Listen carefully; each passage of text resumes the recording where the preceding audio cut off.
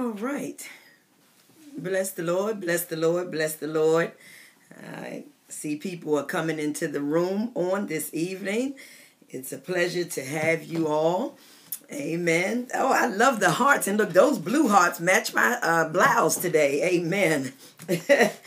it's a pleasure to have you all to join me uh, this evening as I continue on the teaching that I started on women in ministry. Amen. I uh, pray that um, you are blessed. Play, praise the Lord, Cara. How are you? You say, why we so fly? You know, I, I, I got to make sure I look decent when I come on here to Periscope. Amen. I try to look decent anyway, but, you know, I just want to be presentable for those that may be tuning in. I don't want you to be distracted by me looking crazy and, you know, things of that nature. So I put on a little makeup, you know, things of that nature. So uh, I'm doing good, Cara. I'm doing good on today. Um, for those of you all that don't know, I'm Tonya Mitchell. Amen. Praise the Lord. Reach higher. Uh, I'm Tonya Mitchell. I'm the pastor of Nothing But the Truth Ministries, uh, located in Clinton, Maryland. I am the founder of the Shepherd Connection Fellowship. Amen. Which is a fellowship for spiritual leaders. Hey, there's my girl right there. Hey, Overseer Solange. Good to have you on. All right. And so, y'all, tonight we are going to move forward with our teaching on women in ministry.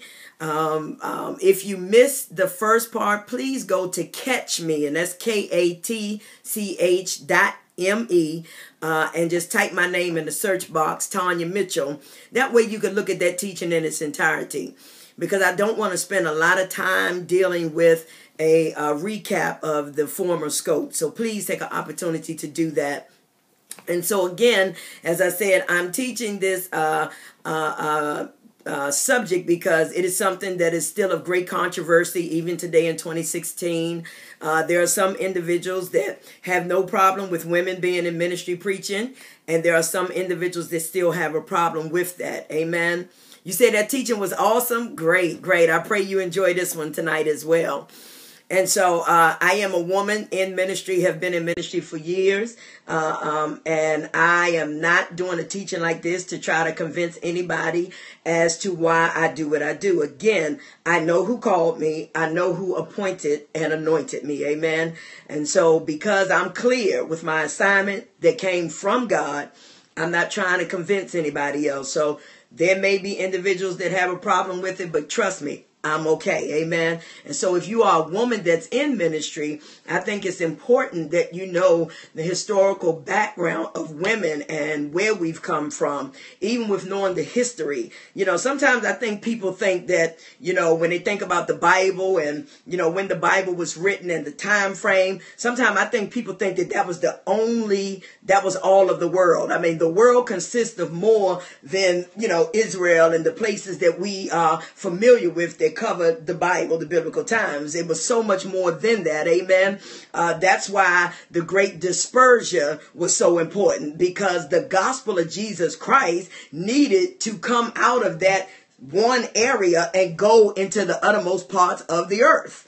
And so you got to understand the Bible uh, and the uh, uh, the times that it was written and and who actually wrote it. They were under a particular place, amen. And so when you understand the history of the Jewish culture, the Hebrew culture, you'll get a greater understanding of why women were so suppressed and how sometimes you can even see it written in the Bible.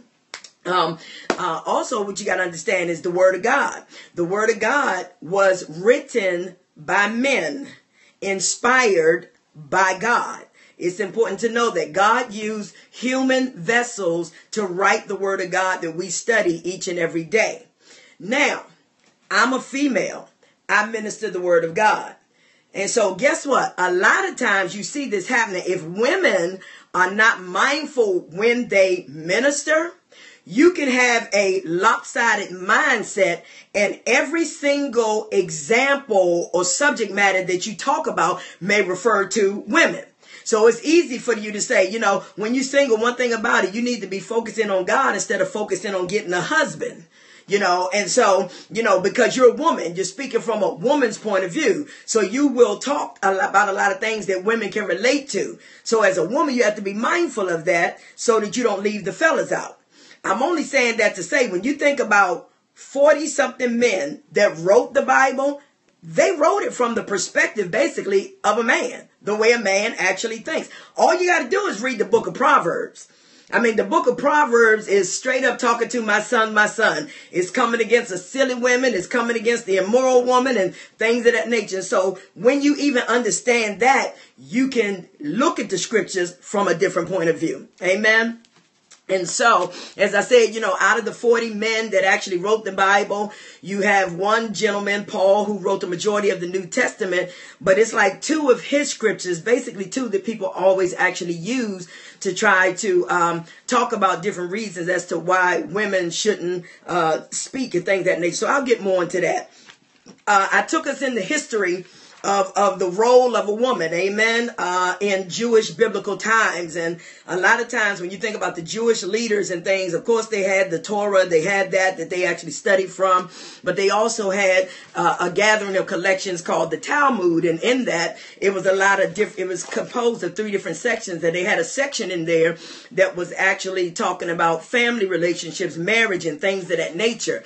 And so in that particular section, it told the man his responsibility responsibilities, amen, towards his son. Uh, it talked about his responsibilities towards his wife. You know, the, uh, in the Talmud, it said that the husband was obligated to support his wife, redeem her from captivity if necessary.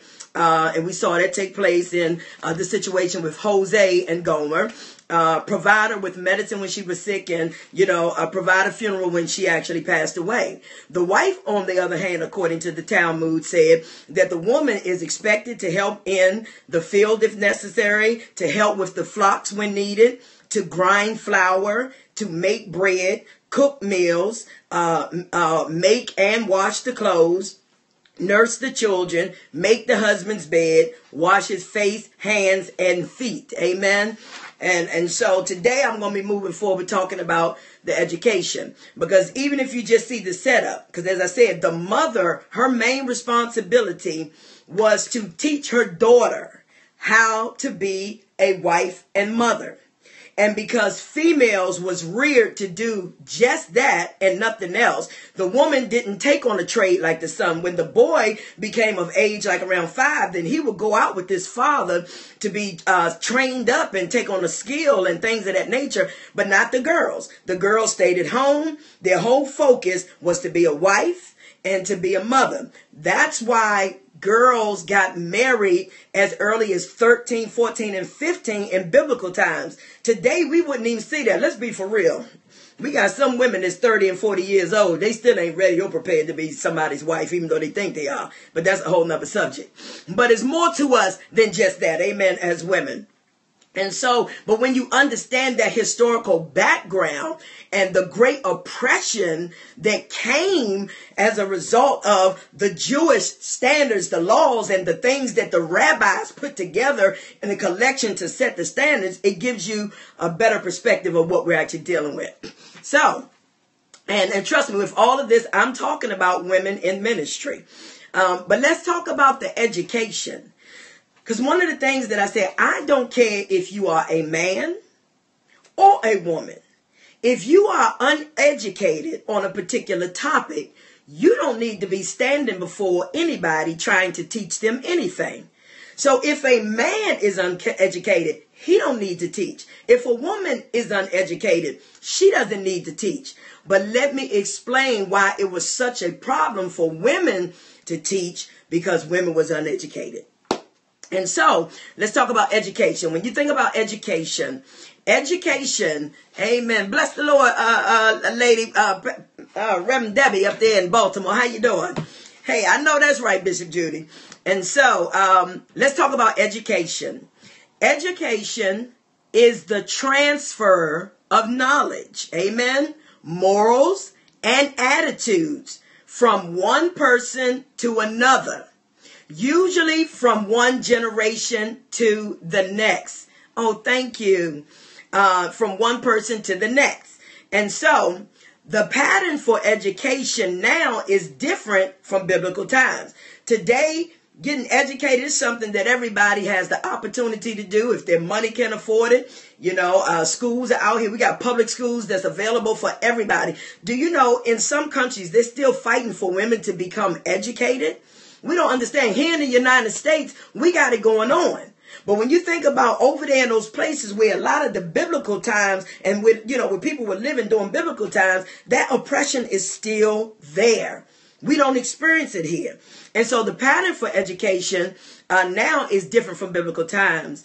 Uh, back then, a lot of people were into agriculture, amen, producing crops and, you know, raising livestock. That's how they actually made their living, amen. So, you know, when it comes down to it, yes, the things we take for granted. Um, and so when you think about it, the religious leaders, for the most part, were the only ones that were taught to read and to write. There were a lot of individuals that were uneducated in biblical times, including the men. Amen. And so you had the religious leaders that basically set the standards, exposed the law and things of that nature. So everybody didn't have the ability to even read and write during biblical times. And when it came down to the children, the children were actually homeschooled. Amen. Uh, they were homeschooled. They were instructed in religious instruction. Amen. Uh, big emphasis on religious instruction. That was so important in biblical times. I mean, even for individuals to remember uh, certain things as young kids, it was drilled inside of them to be able to recite stuff. You know, it's so different in today's society. Amen. But when they were home, they were constantly instructed in religious instructions. Amen. Uh, uh, uh, focusing on how of knowing God and knowing how to please Him by doing things that were right uh, individuals, the children at that particular time, they were trained in practical skills, just practical everyday skills. Yes, people perish for a lack of knowledge, spiritual and secular, definitely. And so, during the first five years of a child's life, amen, most of the instruction for that child, be it a girl or a boy, actually came from the mother because the child was with the mom most of the time. And so after the age of five, you had the boys who actually would go out with their dads to work and actually learn a trade. And so in Old Testament times, uh, uh, there were no formal schools. Amen. There was no formal structured curriculum.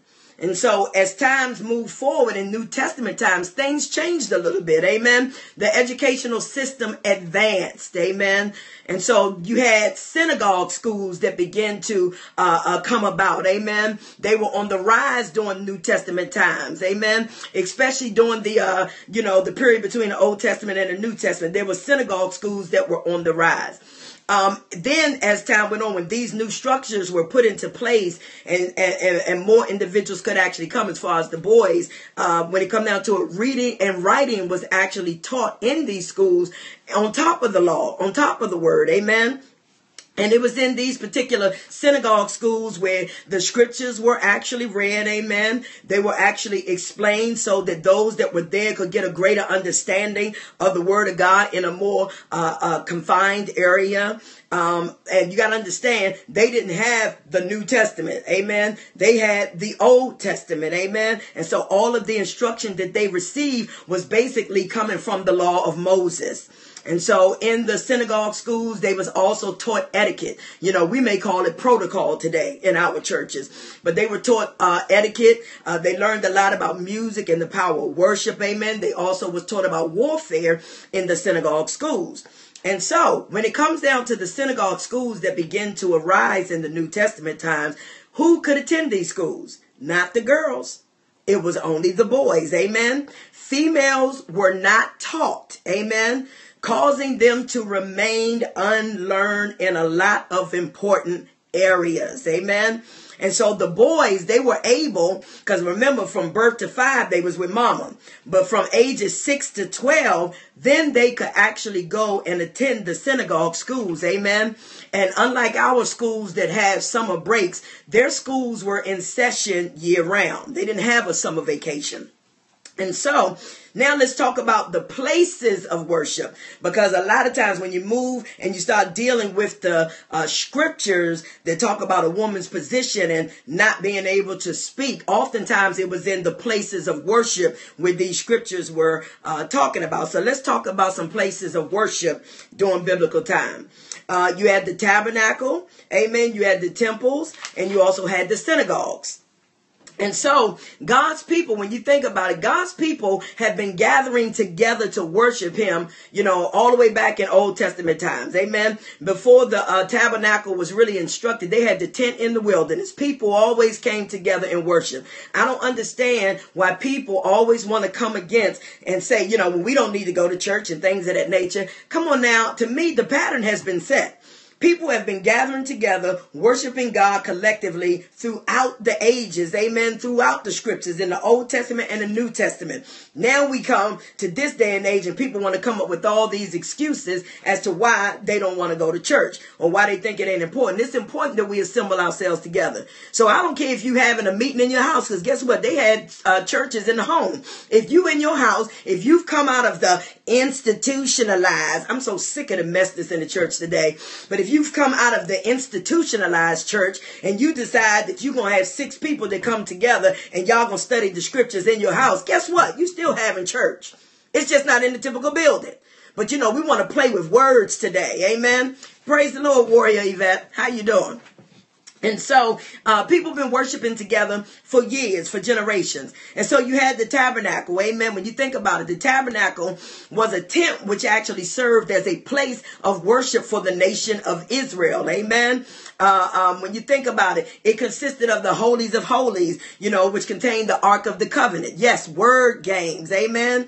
Uh, but it consisted of the holies of holies, which contained the Ark of the Covenant, you know, and when you think about it, inside it was a copy of the stone tablets, the Ten Commandments. Amen. The, it was a copy of the Pentateuch that was in there. That's the first five books. Amen. A gold pot filled with manna and Aaron's rod, uh, but, rod that it budded. Then you also had the holy place. Amen. This was the place which contained the altar of incense, golden altar, the seven branch uh, golden lampstand. Amen. And a table for showbread. Then you had the courtyard. Amen. Which contained the altar of burnt offering and the laver, which is where you actually cleanse yourself. And so when it comes down to this setup, only assigned people could enter into the tabernacle while others stood on the outside of the tent and looked on. So even then, there were limitations. Everybody couldn't enter in, but yet they were still gathered around. And then as time went on, then you had temples that came about. And a temple was a building in which a god or gods is worship. Amen. It is a place where God manifested his presence. You know, and, and like I said, I'm teaching, so you got to be patient because if you don't understand this foundation, you know, you're going to miss the great understanding that is necessary at this time. And so the first temple uh, uh, for our God, amen, because you had temples that people had erected for other gods, their gods, but the first temple for our God was built under the leadership of King Solomon. And so you had some other ones that was actually built as time went on, you know, Zerubbabel's temple, Herod's temple, things of that nature. And so in the Old Testament, Old Testament temples included places for guess what? The Israelites. How many y'all know it included places for the Gentiles, you know, meaning people that weren't Jews, because everybody wasn't a Jew, amen. Uh, when you think about it, it also had a place for women in the temples that begin to be erected. It had a place for women, you know, alongside with the regular Holy of Holies, the holy place, and the outer court. And so the temple, often referred to in the New Testament, is Herod's temple. Temple, excuse me. And so, even though the one, the women had a court within the temple, guess what? They could join in to uh, uh, in worship, but they were not allowed to participate in the activities. They could not speak. Even though they were allowed to come in, they could not speak. Amen. They could not read the scriptures when they was open and being read. They had limitations. It got to the point. At one point in time, they didn't come. They allowed them to come in. But now that you in, you in here, but don't say nothing. Okay? And so they, and, you got to understand, they were not required to attend. It wasn't something mandatory for the women to attend. But you had a couple that was like, look, I'm trying to go. I want to see what they're doing over there. Hello. And so they was trying to get prepared for their call and their anointing. But anyway, they weren't required to attend. It was optional. So then now you have the synagogue. Now the synagogue is a congregation of Jews, amen, for worship and or religious studies. And guess what? Only one could only be erected or formed if there was at least 10 men in the community that was Jewish. Amen. And so inside the synagogues, you had different officials. See, now we get into the different roles that people play in the church, but you had different officials that were actually uh, uh, set up and assigned in the synagogues that served in the synagogue. You had your elders in the synagogue, which was a board of devout and respected men, amen, who regulated the policies of the synagogue. Then you had the ruler of the synagogue, amen, who was appointed by the elders. This individual handled matters concerning the building and the planning of the services. Uh, then you had your ministers, amen and a minister was the individual that had charge over the sacred scrolls, the reading of the word, uh, the word that they would actually read. And so they attended to the lights, eh, the lamps, they kept the building clean. You know, they taught the boys in elementary synagogue school. Amen. The minister, that's what they did. And they also scourged offenders when the time came for it. Then you had the delegate of the congregation, which wasn't held by a permanent person. Amen an individual that it was an individual that was picked before each meeting. Amen. To do what? Read the scripture, lead the prayer, to preach, you know, or or comment on the scripture. Sometimes if you look at what we do in church today, we say, well, that's the person that may have led devotion or things of that nature. They prayed, they uh, read the scripture, different things of that nature. They had one person that did it, but we actually have multiple people that do it. But if you have your Bible, and you turn it to Luke chapter 4, you're going to see what I just said to you in action. Luke chapter 4, and I want us to look at verse 16 is where I'm going to start. And so I just talked to you about the synagogue, the setup, who you had in there, the elders, the ruler, the uh, minister, you know, and the delegation of the congregation, the one that actually uh, basically presided over the service on that particular day. And so when you look at Luke chapter 4, starting at verse 16, it says, So he came to Nazareth where he had been brought up, talking about Jesus. Amen. And as his custom was, it was something that he was uh, trained to do. Amen. As his custom was, he did what? He went into the synagogue on the Sabbath and he stood up to read. And he was handed the book of the prophet of Isaiah. And when he had opened the book, he found the place where it was written, The Spirit of the Lord is upon me, because he anointed me to preach the gospel to the poor. He has sent me to heal the brokenhearted, to proclaim liberty to the captives, and recovery of sight to the blind, to set the, at liberty those who are oppressed, to proclaim the acceptable year of the Lord. And after he read the scripture, he did what? It goes on to say, then he closed the book and he gave it back to the attendant. Amen. And he sat down. And the eyes of all who were in the synagogue were fixed on him. And he began to say to them, Today, the scripture is being fulfilled. Amen. And you're hearing it. So they had the time. They came together. They read the scriptures. He gave the book back. And I'm sure he went on and elaborated. He didn't go into a lot of detail in the scripture as far as what he did. But when you think about it, you have the person that's usually the interpreter in the in the synagogue. Uh, they translate the scripture, uh, uh, you know, because a lot of times the scripture was actually written in Hebrew in the original language, and so everybody didn't have the Septuagint at that particular time. That's the Old Testament that's actually translated into the Greek, and then you had individuals that dealt with the money. So now, be mindful of this fact that I'm going to share. Women were not educated. Amen Women were not required to go to the temples or the synagogues. Women could listen only, amen, for a long time. They could only listen. uh, but they could not speak if they attended worship. Uh, the women were inferior to men. It's a given. You can't get around it. They were inferior to men. And guess what? They were actually separated from the men when they attended the worship because remember, bless the Lord. Oh, amen. Working down and can stay only only for a few. All right, uh, Tracy.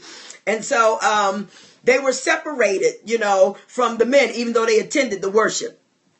And so this particular lifestyle was engrafted in the hearts of the people for generations and generations, including Paul. Amen. And so when you think about it, Jesus Christ, when he came on the scene, he began to change the way of doing things. Amen. He began to change the tone of how people will actually begin to interact with women. Turn your Bibles to John chapter 4 because you can see it clearly here in this scripture. Because, you know, here it is. You got Jesus interacting with a woman. But not only was she a woman, she was a Gentile woman. Amen. And so Jesus interacted and he conversated with women, Jews and Gentiles. John chapter 4, let's look at verse 5 and through 9. And the word of God says, So he came to a city of Samaria, which is called Sychar, near the plot of the ground that Jacob gave to his son Joseph. Now Jacob's well was there. Jesus, therefore, being wearied from his journey, sat thus by the well. It was about the sixth hour. A woman of Samaria came to draw water from Jesus, you know, came to draw water. Jesus said to her, Give me a drink. For his disciples had gone away into the city to buy food. So he was there. They wasn't with him. He spoke to the woman and said, You know, give me a drink. Then the woman of Samaria said to him, How is it that you, amen? Oh, thank you. but he said, How, the woman said, How is it that you, being a Jew, ask a drink from me, a Samaritan woman. Because, you know, the Jews were the chosen people. You know, the Jews, you know, didn't want to interact with others that were, you know, outside of their culture their race. Amen. And you got to understand, you are a Gentile. A Gentile is anybody that is not a Jew. Amen. And so, you know, she knows the setup. She knows historical history. She knows that Jews don't interact with people like us. And she's saying, how in the world is it that you are going to ask me for a drink? Amen. If you go over to verse 27 because I skipped over the conversation that she had when he revealed her issues and all that. But then you have verse 27. And it says, At this point, his disciples came and they marveled that he was, he had talked with a woman. Do y'all see that? They was tripping. His disciples who had went away to get some food, they came back and they marveled that he talked to a woman. Yet no one said, what do you seek or why are you talking to her? They ain't question him. They didn't come out their mouth and say, Jesus, hold up, what's up with you? Why are you talking to this woman? But trust me, they had some thoughts going on in their mind because they knew what was considered to be acceptable and not acceptable. And so you got to understand, Jesus was changing things. Jesus welcomed women, amen, as travel companions with him. So not only did he have males that actually were following him now, he had women that were actually following him as well uh, while he was here. Uh, he encouraged women like Mary and Martha to come sit at his feet, you know, to receive the word that he was shared, not just with the fellows, but also with them. And so Jesus Christ had a respect for women that the average man did not have in biblical times. And so it was new and it was hard for many people to accept it. And so this freedom that women begin to experience, amen, when Jesus came on the scene, first of all, it was the freedom from segregation. We don't have to follow from afar. We can be right here, amen. Uh, it was the freedom of really being able to talk and, be interact when the word was going forward, amen. Because, you know, Jesus was one that would interact with the people, uh, openly being able to participate, you know, when gathered. You said newsflash, the women were faithful then and still faithful, and they didn't have a voice. Come on now. That speaks volumes. That's right. Because even when we did not have a voice, we were still faithful. and we're still faithful now. Amen.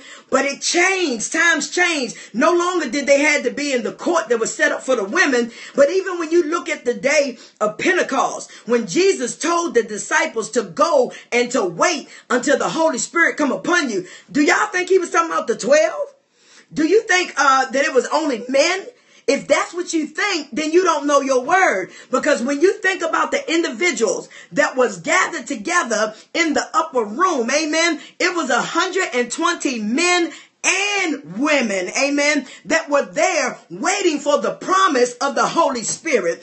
It was again men and women gathered together in the upper room waiting for the promise of the Holy Spirit. And so the freedom that women began to experience was very new. Amen. And it caused some problems, you know, within the church. And even when I think about this woman at the well, it was because of her running and sharing the gospel of Jesus Christ that others came to know Christ. Amen. She had an encounter with Jesus. She opened up her mouth, ran and told everybody and there was individuals that wanted to see who this Jesus was based on what came out of her mouth. And then once they came in contact, many believed because of her testimony, but then there was others that came and they believed because they had contact themselves. But she opened her mouth and proclaimed the gospel of Jesus Christ, the good news of Jesus Christ.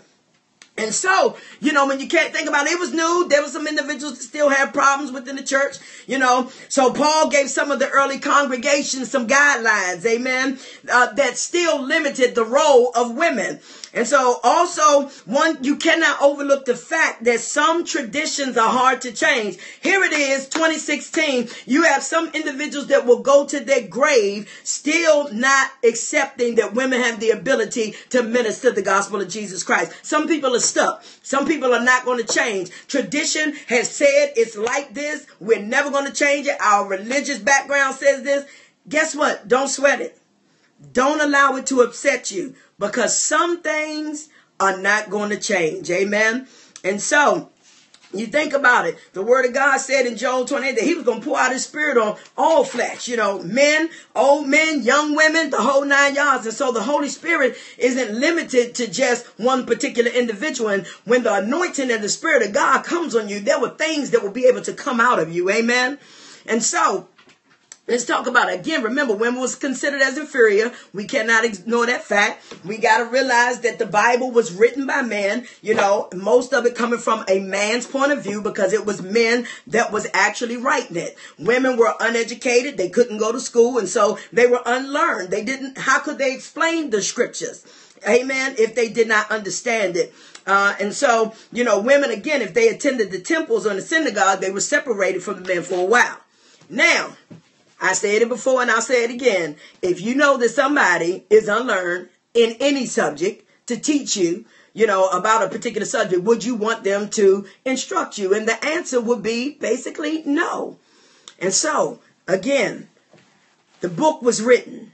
And in the book, it wrote about the good, the bad, and the ugly. It talks about love. It talks about adultery. It talks about murder. It talks about everything in the Word of God. Amen. Again, it was written from a male perspective. Uh, look at Proverbs chapter 1. Proverbs chapter 1. You'll see again how I'm telling you that it was written from a male perspective. Proverbs chapter 1, I'm just going to read verse 1 and verse 8. But it says, the proverb of Solomon, the son of David, king of Israel.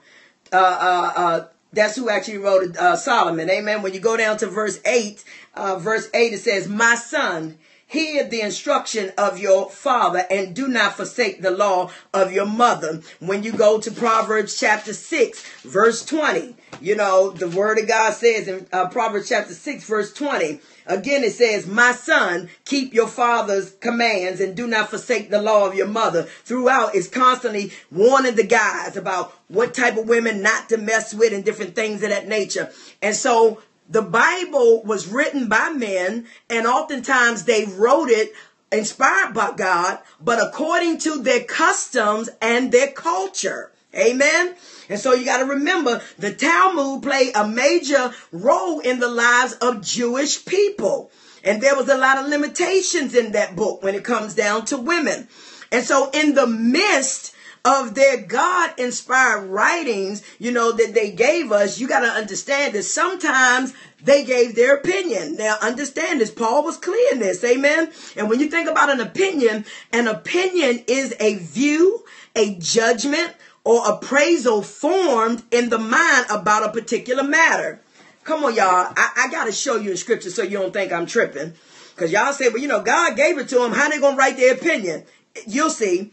Uh, 1 Corinthians chapter 7 is a prime example where you will see Paul, the one who the controversy is around. Paul is the individual that wrote in the scripture, and guess what? That he gave his opinion. In Paul, in 1 Corinthians chapter 7, verse 8 and 9, the word of God says, But I say to the unmarried and to the widows, it is good for them if they remain even as I. But if they cannot exercise self control, let them marry, for it is better to marry than to burn with passion. See, one thing about it, the Bible, God doesn't command that a person stays single, but that was Paul's opinion. And so he said, but I say to the unmarried. When you go down to it, look at verse 10. It's very key. It says, Now to the married I command. Then he clears it up. Yet not I, but the Lord. A wife is not to depart, and it goes on and on. But look at verse 12. Now he give his opinion. He said, But to the rest, I, not the Lord, say, if any brother has a wife who does not believe, and it goes on and on. So here in that particular passage of scripture, you will see two places where Paul, a, a man that was inspired by God, in the midst of the writing, he gave his opinion. His opinion was stay single. His opinion was I say it, not the Lord, and he made that perfectly clear. And so when you think about it, let's go and now look at First Timothy just briefly. First Timothy chapter 2, where it talks about men and women in the church. Okay? So Paul wrote this book. And we talked about they how he gave his opinion, how some people inserted their opinion. When you look at Paul chapter, I mean First Timothy chapter 2, let us talk about go down to verse 9. It says, In like manner also that the women adorn themselves in modest apparel with propriety and moderation, not with braided hair or gold or pearls or costly uh, uh, clothing, but which I, mm, excuse me, but which is proper for women professing godliness with good works. Verse 11, let a woman learn in silence with all submission. Key verse number 12. And I, he's speaking, Paul is saying, I do not permit a woman to teach or to have authority over man, but to be in silence. He clearly said I. It wasn't that it said the Lord said, God commands that a woman is not able to do this. It says I.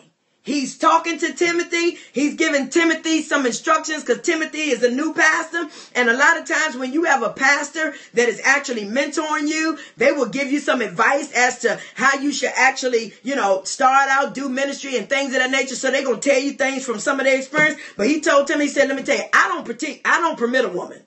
And so it wasn't that he said God said, but he said, I don't permit.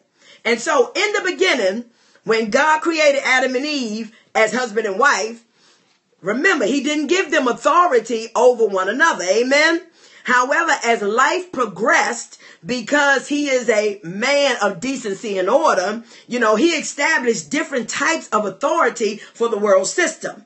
And so when you are dealing with groups of people, there has to be order. So, you know, the husband is the head of the wife. You know, Jesus is the head of the, uh, of the husband. And, you know, you know, the husband is the head of the wife. There has to be order. You have pastors that are set up and established in churches and they are the uh, authority figures over the congregation. And so when you think about the term authority, it means power to influence or command a thought, opinion, or behavior. It also means persons in command. And so people with authority, ride with me, people with authority usually lead others.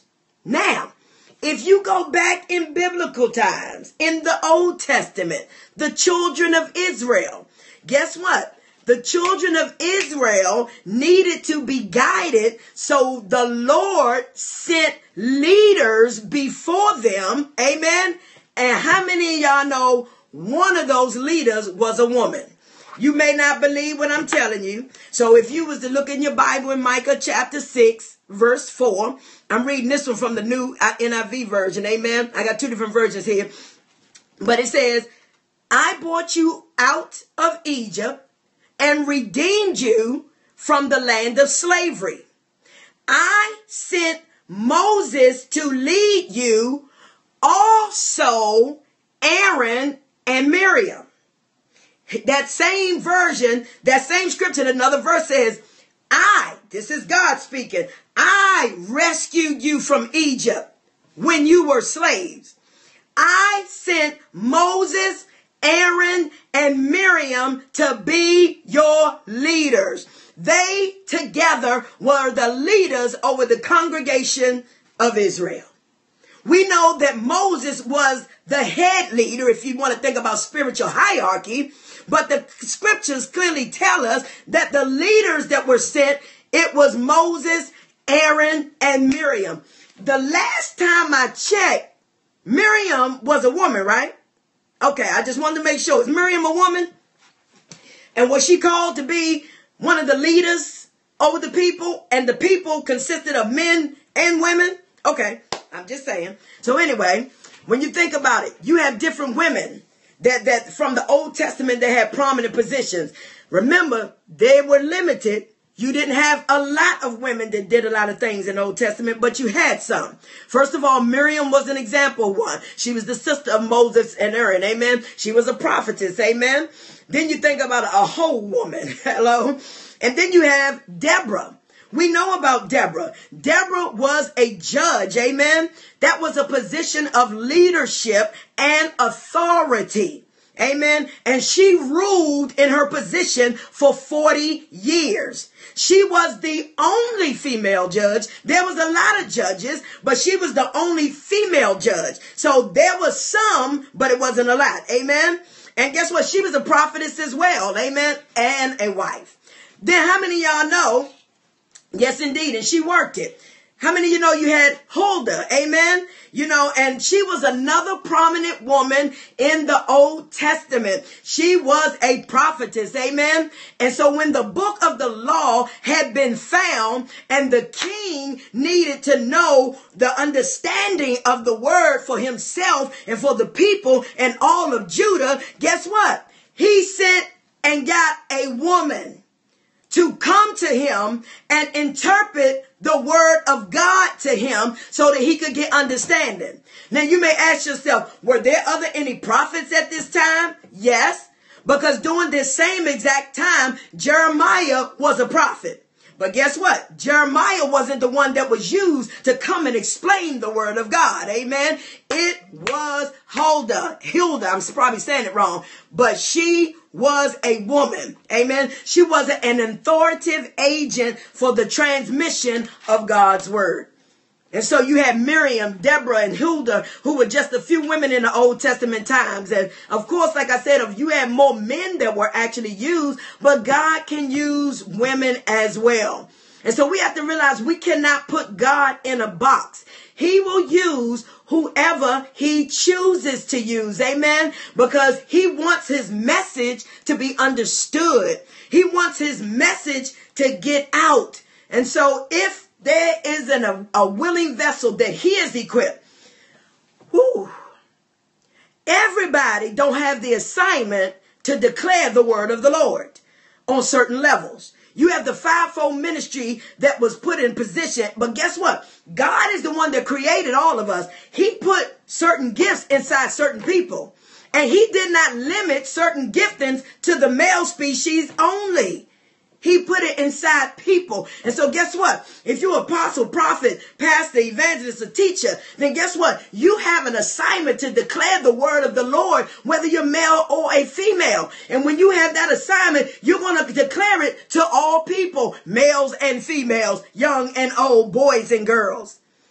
And so God can do what he wants. Amen. Just think about it for a second. Early on, men have been taught to reject the word from a woman. And so we're still looking at this mindset and how even in New Testament times trying to get away from it. You got to understand how the Jewish culture was taught. They was taught to reject the word from a woman.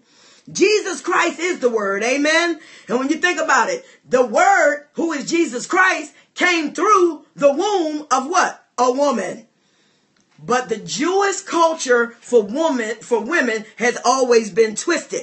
In that Talmud and certain things that was drilled into the minds of the Jewish people, especially the Jewish men, guess what? They used to say things like the testimony of 100 women is not equal to that of one man. If that is how a generation of people are trained to think, then the very words of a woman will have no effect on them. Because listen to that the testimony of 100 women is not equal to that of one man. Whatever. Because as we already saw that one woman who was at the well she ran and told many. There was another saying that was very popular that was said it is a shame for a woman to let her voice be heard among among men. So again, if you have been raised in the Jewish culture and in the traditions, we know that Paul had the Jewish uh, culture and the Roman citizen, but guess what? He was steeped in that Jewish stuff. He was a Sadducee. I mean, he was a Pharisee, y'all. Come on now.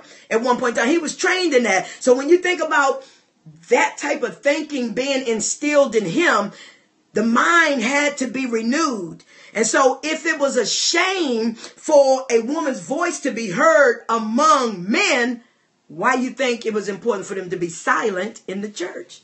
Because the mindset was it's a shame for their voice to be heard. So if we allow you into the temple, the last thing we want to do is hear anything that you have to say because in the Talmud it says it is a shame for a woman to let her voice be heard among men. That's why she was instructed, no, you don't talk up in here. You go home and you talk to your husband. But again, that was because of the inferior complex that was on women coming from men in the Jewish culture. So guess what? Jesus' disciples had to be delivered from their mindsets of women, as well as Paul and many others and people even today. Paul was an individual that wrote the majority of the New Testament. Amen. He was a Roman citizen. However, he, his, he came from a Jewish heritage. Amen. And that was more prominent in his life than anything. And as I said, he was a Pharisee. He was steeped. Amen. He was very well educated, but he was steeped in the Jewish laws and traditions. And how many y'all know every time you turned around, Jesus always rebuked the Pharisees for their traditions. Because it says it is your traditions that make the word of God of none effect.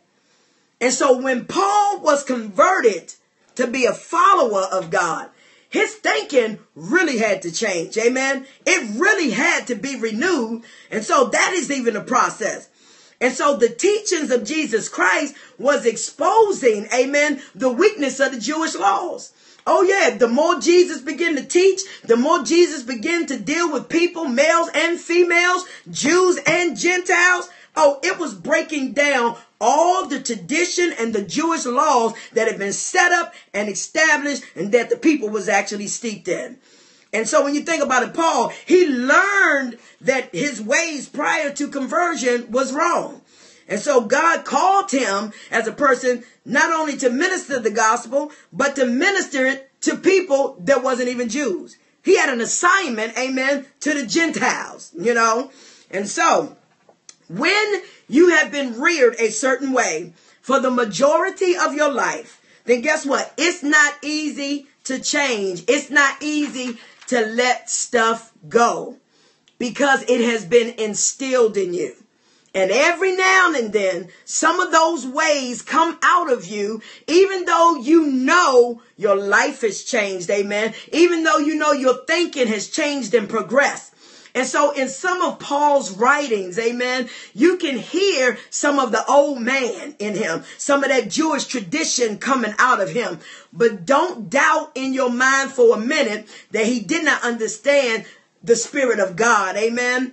He didn't don't think that he didn't understand what Christ actually did. You got to understand, prior to Christ, Paul, along with other young men, used to repeat words, amen, on a consistent basis, such as, Oh God, I thank you. I am neither a Gentile, nor a slave, nor a woman. Okay, this was something that they constantly repeated. They constantly drilled into their spirit. But then you think about it, the same individual that struggled, Paul, he knows the truth because he turned around and he wrote Galatians chapter 3, verse 26 and 28 that actually says, and I'm going to read it to you. He wrote it and he says, For you are all sons of God through faith in Christ Jesus. For as many of you were baptized into Christ, have put on Christ.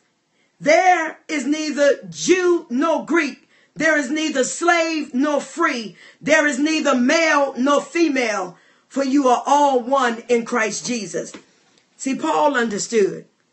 There were some things that Paul was addressing in certain places, and you have to understand that. Even when I think about the Corinthian church, the Corinthian church had so many things that was out of order that the whole, part of Corinthian, the book of Corinthian was checking the stuff. The gifts was out of control. You know, people was just out of control and Paul had to check them. So even when he dealt with the women, you probably had a lot of women that was excited about their newfound freedom and they ready to just go on and on and share some stuff, but yet they were still ignorant.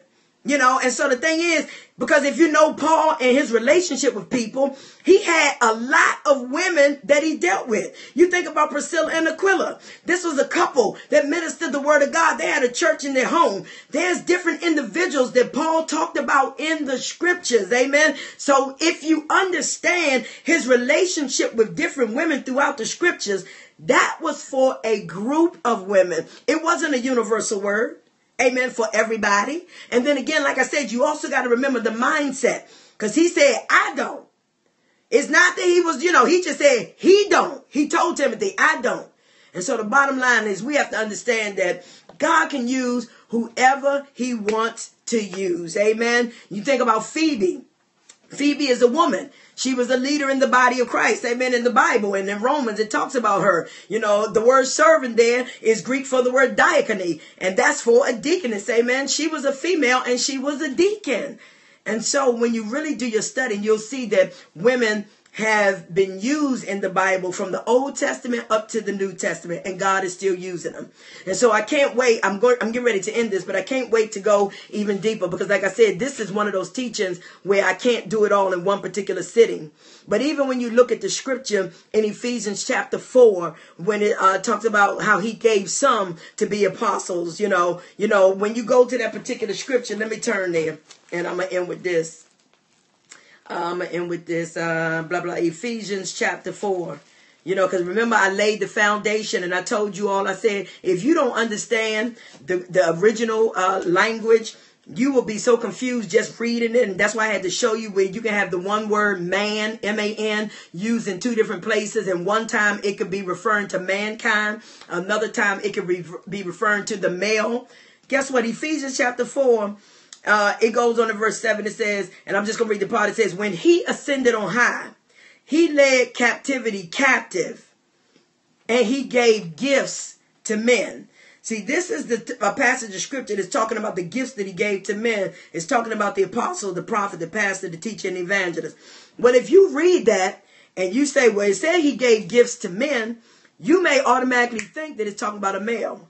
But when you go back and you look up the original language, and it means anthropos, amen, 444 is the number in the Strong's Concordance. Guess what? It's talking about human beings. So God gave gifts to human beings. He gave the gift of apostle, prophet, pastor, teacher, and evangelist to human beings. It's not talking about just the male species. But again, some things you will never know unless you do a deep study on it. And like I said, I've done a deep study on it. There's so much more that I'm going to talk about, but I needed to know this for me. Amen. Even when I teach it to my church, one of the things I said, it's not that you have to prove to anybody why you sit under a female pastor. The bottom line is you need to have an understanding. So when you go back in history, when you look at how women were suppressed and they were inferior, they was uneducated, they was trained just to be homebodies and be the wife and have babies and train the girls to do the rest. When you understand that mindset, you see the bondage. But we have come a long way.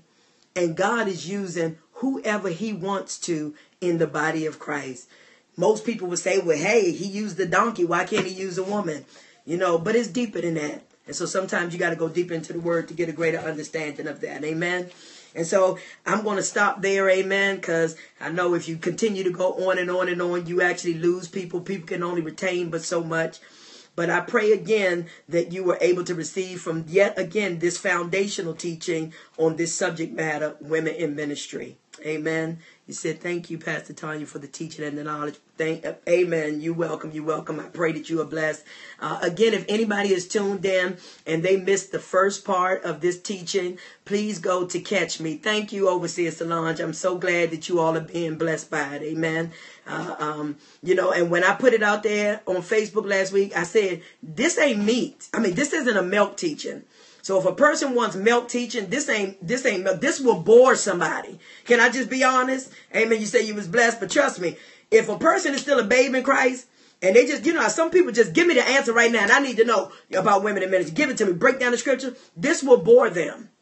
But when you get this foundation, you got a greater understanding of why the struggle is there why people had an issue with it, why some people still have an issue with it. And we can't overlook for real the oppression that was there and is still prevalent in some places today. We got a lot of freedom here in the United States, but with with with with over in Israel and things of that nature, they still have great oppression because they're still deep rooted in Jew, Jewish traditions that came against women being anything but a mother and wife. And so, on that note, if you want to know more about my ministry, you can look on my profile here. Uh, it has my website, www That tonyamitchellministries.com. Uh, feel free to go to my website, learn more about it, learn about the Shepherd Connection, learn about me. I have products on there, amen. You can get my book, uh, Why Do I Keep Falling, on my website. Um, I have CDs on there. If you just decide, hey, I would like to sow a seed into your ministry, guess what? There's a link on the website for that too. But I pray that you have been blessed. And again, if you miss the first part, go to www dot katchme.com. No, dot www.katchme, K-A-T-C-H dot me. All right, you all have a wonderful evening. Be blessed.